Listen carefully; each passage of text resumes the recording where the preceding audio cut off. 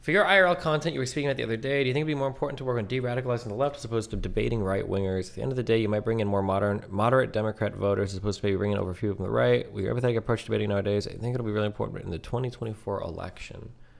Um, yeah, maybe. I've thought about this. I need to. Um, I have to think about it more. It it feels easier to reach right leaning people right now than to reach far left people. Like if somebody were, were to tell me that like we're gonna kill you if you you have to de-radicalize the most amount of people possible, and you can choose either like a hundred far left people or like a hundred conservatives. Um, I don't know who would be easier to reach there. I feel like in, in, in I feel like I can reach people on the right better because I think that people on the left have like a they feel like they have like a divine right from God to act in the way that they do. Um, which is ironic given people on the right that actually believe in God feel like they have a little bit less of a divine calling. Um, I, I, but I don't know. I'm not sure. I would have to. Th- I would have to think about that. That'd be interesting. Um, I think that the issue is that like if you're on the far left right now, you have so much reinforcement from like all of the pillars of society that why the fuck would you ever let anybody think you're wrong about anything? Like if you believe a certain thing, you're getting reinforcement in a way academically um, from like film um, the like cultural zeitgeist, I guess, in terms of like corporate policy, what everybody's like tweeting, what everybody's telling you politically. Like, it just it feels like there are so many different ways that your beliefs on the left get reinforced. That if some asshole like me shows up, why the fuck would you listen to me when you have like a divine calling from God to like be however you want to be, as long as you like kind of fit that left. Um, is it orthodoxy? Is that the word I'm looking for? Yeah. but then again, I mean, like maybe fundamentally, maybe we match up on morals anyway. Um, so maybe it would be easier. It's hard to say. Obama. It's hard to say because I can't. Um, I have to be careful not to mix up the fans with the talent, with the with the with the creators, um, because it, it might be that like the average left leaning like follower is not as disingenuous and insane as the average left leaning content creator, you know? A big portion of the left aren't concerned with morals, but are more concerned with fitting into a group, and you're not in their group. I mean, like, we say things like that, and that's kind of true, but it's not like everybody on the right is like a paragon of like moral like uh, like moral foundation. You know, like oh well, on the right everybody is. You know, we all have this blah blah blah. We're about like no, I don't think that's true of, of, of people on the right. I, I, don't think that's true. You think most far lefties identify as far lefties are virtue signal? I don't know, but I do know that if you are far, if you're like a socialist or a communist, unironically, um, like you have the same processing power mentally. You're, you're running on as many cores as a fascist is. Um, people get mad because they'll say like, well, socialists or communists aren't as bad as fascists, which is probably true, um, at least in terms of like political positions. But in, in, terms of like critical thought and everything, like if you are unironically like a socialist or communist, you're you're you're on par intellectually in terms of how hard you're working um, with, with any of the crazy. Yeah, don't do that. Don't be don't be a communist, guys. Any examples of far left ideas reinforced on the pillars of society? Well, I think academically, you have an unimaginable amount of support. Um, I think that through like media, I, I, mean, it seems like most media in terms of like film, TV is has moved already. Not is moving, has already moved like pretty far. Um, and then in terms of like reinforcement across social media, like the values of most social media companies, and and then like corporate culture too, is all like pretty far in that direction as well. You think with your empathetic approach, if interacting with lefties IRL, they won't grant you the same empathy, and you might find yourself in the same situation as that professor outside Portland State who's basically debating 10 non coherent lefties and just getting shouted down. Yeah, I'm not sure. I really wish I had the ability to. Um, it's hard because online they won't engage with anybody because they don't feel the need to. Um, big iron is y equals 16. Oh. Big, um, I mean, big conservatives won't either, but didn't you say a group of high schools are pretty Zoomer woke and you were able to give your ideas to them, right? Yeah, they seemed really receptive, but I don't know how much of like the norm that audience was. Like, that was like a highly driven group of kids that were there specifically to have their political ideals challenged, right? Like, they all came off as like these are like the honor student kids of, you know, whatever school or thing they went to. Um, no, no, that's not, that's not bad. It was good. I thought it was good. Um, what about Christian evangelicals? Example of somebody on the right who feels a divine calling to spread their political beliefs. Yeah, I don't know. I just don't. I don't get the feeling as much, but I also don't interact in those groups as much either. So like, it could be that I, I just don't have as much of the um, Obama. the interaction with them. I'm not sure. What do you think started the massive wave of comments World and peace socials shit. online? Um, I think I actually have kind of an idea. I bet this is true historically. Um, I bet it's true historically. So, I think of, I think something that we need. This is kind of sad. But um, I think something we need as humans is is somebody to fight against. I think it's really important because when you have somebody that you are fighting against, it gets everybody on the same page. Everybody's super motivated. Everybody has like one focus. Everybody's just ultra pipe, uh, uh, like ultra pumped up, ultra hyped up to go and do like a particular thing. So like having Trump as this like demonic figure for people on the left to fight against was really positive for the left. But I think um, something that happens is when you have this figure to fight against, when that figure disappears, shit gets real weird. Because once that figure is gone, all of that hatred, all of that energy has no outlet and no direction, and things immediately fall into disarray.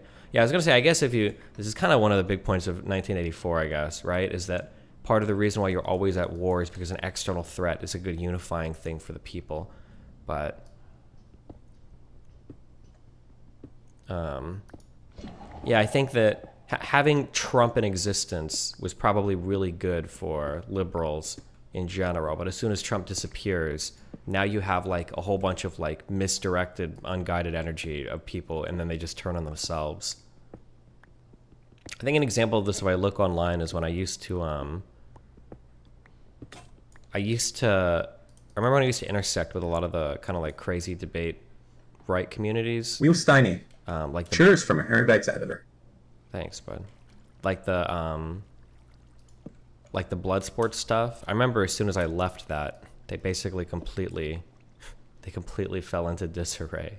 And I wonder if it's because like having me as like a focal point to fight against is um was nice and then once I was gone they just started all killing themselves and it like fell apart completely. I don't know.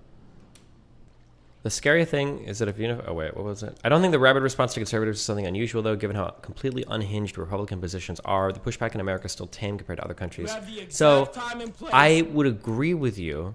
Um, I would agree with you that that was true like six years ago. Um, I would agree that back then, like the progressive positions were like clearly better. Like um, You have the exact time and place. the that Noah post is one that I reference a few times. The idea of like you know what did the coast what did the coastal elite stand for? Um, you know, and the coastal elite was like a liberal whose radical positions were like, I'm not minding this. This is cancer. Um, was like gay rights and like um, you know, like some sort of like racial equity, like the most extreme position you could find of, of like the general like coastal liberal elite would be like maybe reparations, you know, like that, like that would be the most extreme position they would have. But nowadays, um, the progressive opinion on the left is is just as incoherent as the crazy conservatives on the right. Um, I still think the Democratic establishment, like the party, I think still stands for beliefs that I think are far more grounded in reality than the um, than the Republican establishment. Like it's not even close, in my opinion. Um, but the it always feels like the extremes are kind of pulling the reins on both sides a bit, at least culturally. Can you name a leader on the left side the majority follows no matter what? Um, I don't know if that exists on the left. Um, not in the same way that Trump does for the right. Nick Fuentes what Destiny thinks about corruption. That's what I think. Pretty underscore fly underscore white underscore guy sent three dollars. Fifty-eight. Hey friend, you need to get the bottom of what Destiny thinks about corruption. Last time you talked, it was as if you didn't know the basics like the Iron Triangle or military-industrial complex. He doesn't. Yeah, we, we got to the bottom of it. He doesn't believe in corruption. Okay. Here's here's the issue. It's not that I don't believe in corruption. I understand that corruption exists. The problem is that it makes you I had a I thought about this so much when I was like 16, 17. I I, I got some very rare teenage insight that has remained very true for the rest of my life. There's something that I figured out very early on um, in terms of trying to figure out like h- how to live as a as an atheist. Okay, because when you become like a religious, there's like weird shit that happens because you you have like no grounding. Like metaphysically, you don't understand like what is the world or anything. Eth- ethically, you have no ground. Like so, you have to kind of like think a lot. Okay, well, you know, what's like, what do I think is good? What do I think is bad? Like, how do I figure this out now if I'm not going to be religious? It's kind of a weird thing to to, to ponder. Um, and one thing that I kind of figured out like very early on was that if I want to be free of influence from something, the, the the kind of the gut instinct is I don't want this thing to influence me. Therefore, I'm going to do the exact opposite of that thing. And something I realized pretty early on was like, well, hold on. If I do that, I'm being yanked around by the chain just as much as if I was still directly influenced by that thing. Um, it's just like the opposite, right? Like f like f of x versus like f to the negative one of x. What was the inverse function? I don't remember. But like you're still like you're still basically held captive the exact same way as you would be otherwise. Um, so something I realized is that like if you want to be like truly independent, or if you want to have truly independent thought, it's not enough to just do the opposite of whatever the thing you don't like is. You have to like explore a grounded position, and then you have to build out from there, and, and don't let the the primary thing control you. Sorry. Okay. So bring this back to the current conversation. If you are if you really think that there are problems with certain types of Cool like story. Nobody uh, asked. establishment Obama. media. True. If you really think that there are like certain problems with like certain types of establishment media, then the goal is to like have like well-founded positions that allow you to critique the establishment media. But people don't do that. They become uncritically supportive of every single alternative media, and then they become uncritically believing in every single conspiracy theory related to media. Um, and then you end up becoming just as dumb as the establishment people you're critiquing. Uh, I think that the industrial military complex is not real. I don't believe it. Um, I believe that there are private companies that like make money uh, related to war type shit because they're private military contractors, obviously. But like, there there are two huge beliefs that are massively in contradiction to people that believe in the industrial military complex. Um, and, and here at the two, I would ask you to reconcile this, but you won't. And if you believe in it, you're not going to listen anyway, whatever. But like, so he- here's the thing: the people that believe in the uh, the people that believe in the military industrial complex believe two things. One, they think that the biggest incentive for us to do war is like profiteering, kind of. And two, they think that um, they think that money drives a lot of politics. Th- These are two things that they believe.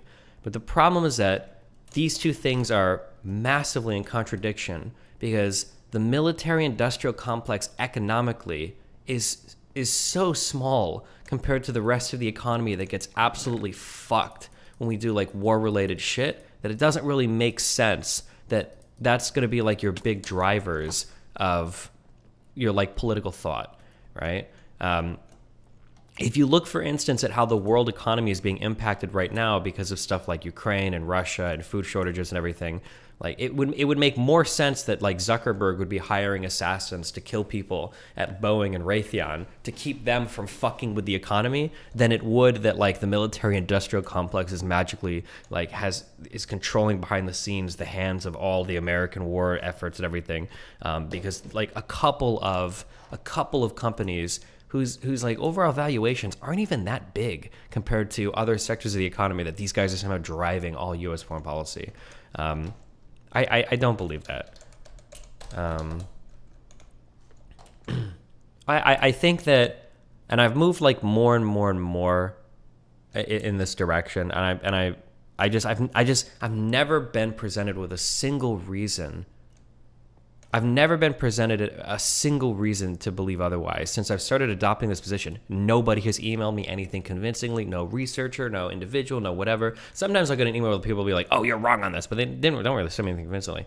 Um, I think that more and more the, the the U.S. foreign policy like just tracks pretty closely onto like people's opinions, um, and that's where a lot of it comes from.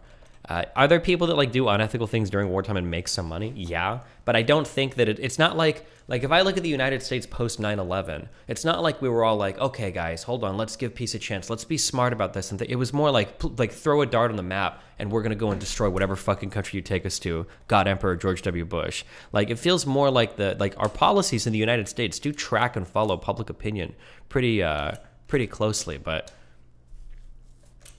I think it's more attractive to just hear. It just feels so nice, so much nicer to, to hear about like conspiracies everywhere because then like you don't the, the public doesn't have the responsibility of like how fucked the U.S. is sometimes of what we do. I don't know. I think people think of Dick Cheney and um, Carlyle group stories when it comes to war and corruption. I mean, like, I'm sure there is corruption, sure. Like, I'm not going to say that there's no corruption. Um, I'm sure that there is corruption, and I'm sure that people do try to act like bad actors. But I think that people give way too much power to some of these companies sometimes, pretending that they direct everything, um, rather than like, this is where the current political opinion is of the, the US public, and it's why things are moving the directions that they do. Here's a reason. If money in politics doesn't matter that much, then you would have no problem just banning it or making it illegal. How do you what do you, what does that mean? Ban money in politics? I, I I don't know what that means. Are you never allowed to advertise for any political cause anymore? Are you ever are you do you not run ads anymore as I don't I don't know. I don't know what that means. Also, that'd be like a, probably a massive First Amendment violation. But oh, this guy, top ten most watched YouTube politics videos of the day. This would be super easy to thread to go over, but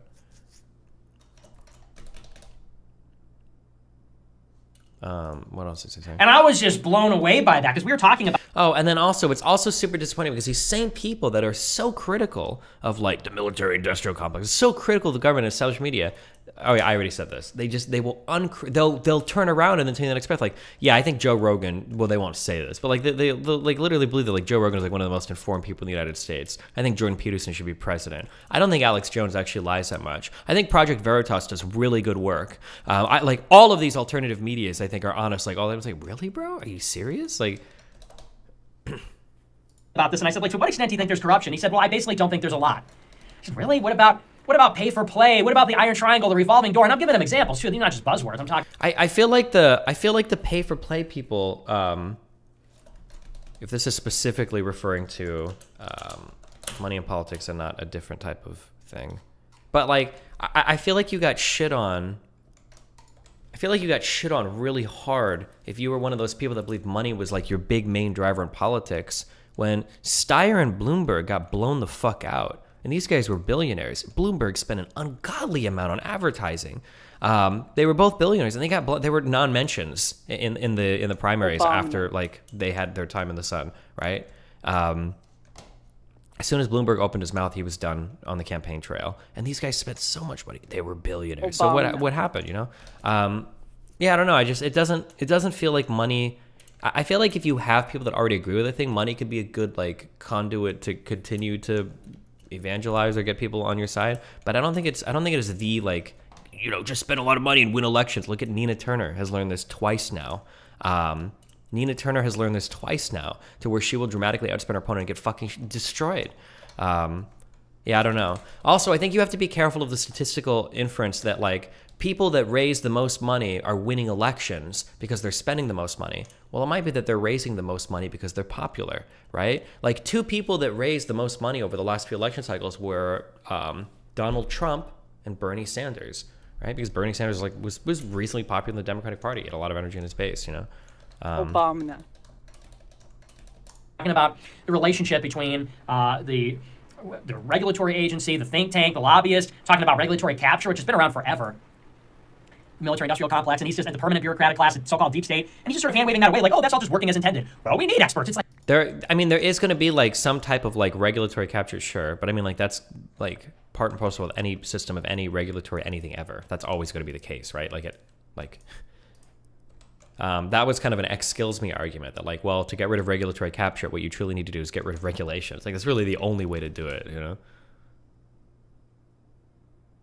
like, what the, dude? How could you be that foolish? So I love him. He's my brother. He's my brother, and I love him. But uh, yeah, he. I, don't- I don't know. I also feel more um I feel more emboldened in my position too when if somebody like if somebody goes to summarize my position and they give such a horrendously strong version it, it also makes me wonder if they think if they know I'm right. Um, like I've never said there's no corruption. That would be a silly position to have. There's always going to be corruption. There are examples of corruption.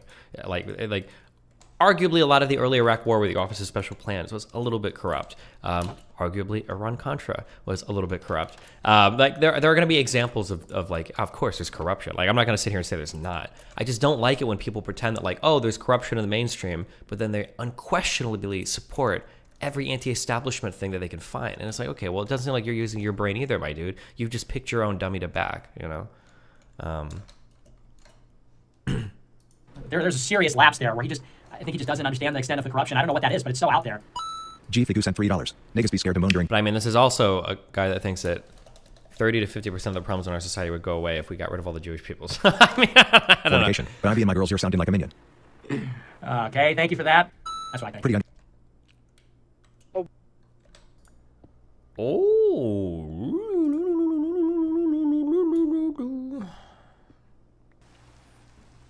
Remember, you guys hear a lot of weird things about how the United States is not progressive and how we're evil and horrible and blah, blah, blah, blah, blah. Okay? Careful. That shit doesn't fly outside of the United States. Okay? There's a lot of places in the world still, believe it or not, that will fucking execute you for having fucking marijuana. Not execute you, but it's like some serious shit. Okay? See all of Asia, okay, including Russia. See some European countries still. Um, maybe most European countries actually. Uh, yeah, just careful with that like whole like America's a Nazi racist horrible country that's like behind Europe on every issue. That is not true in almost any regard, especially on fucking social issues. Now, if you want to talk about like our economic shit and the fact that we don't get like paid maternity leave or whatever, that's fair. But um,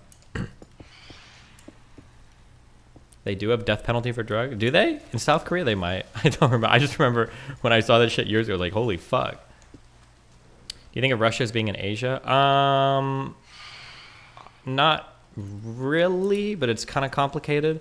Um, like Russia's like history and like Russia geopolitically um, very much identifies as like is it considered Eurasia? When you talk about places like Kazakhstan and like Georgia and stuff like that, like they're not like Europe, um, but they don't think of it as like you don't think of it as like Asian. But I'm pretty sure over in that part of the world, it's like is it Eurasian or like that? Or there's like a different kind of term for it. Um, but you, you wouldn't just say they're like only European, right? I- I- Unless maybe you're exclusively talking about like Moscow. Central Asia, maybe? Okay, sure.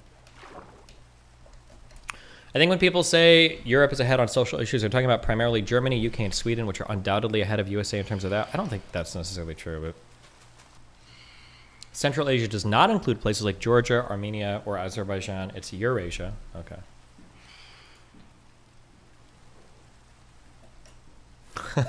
oh no. She liked the way that I rock. She liked the way that I woo. She liked the way that I woo walk. She throw it back for a nigga. No! Do you guys Okay, he's Hispanic. It's okay. He, he looks more Hispanic now too. So as long as he's got the mustache, he can with the soft A. He gets like one per day. Okay. Uh, that she throws it back for a nigga. Okay. That he this just just crossed the threshold into midnight. So that was now he's used both of them for both days. Good evening. You got a great show for you tonight. Big story, big show for you. Featured story. Uh, she throws it back for a. No, okay, we're done. Too many times. okay.